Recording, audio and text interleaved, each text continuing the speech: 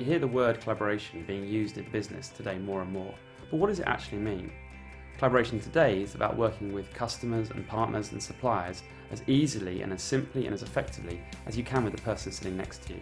And in today's increasingly fast-paced, global, competitive and virtual world, the ability to collaborate effectively and successfully is probably the single biggest competitive advantage you can have.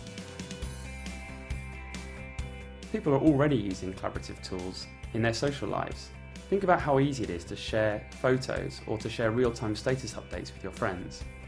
And now these collaboration ideas and technologies are entering the world of work, transforming the way we work together.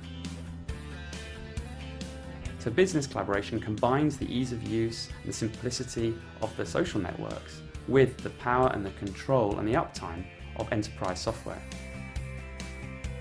Whether it's project management, document sharing, collaborating in real time with phone and web conferencing, holding discussions, brainstorming ideas on a whiteboard. It's now possible to get your team working together more effectively and simply than they ever could before.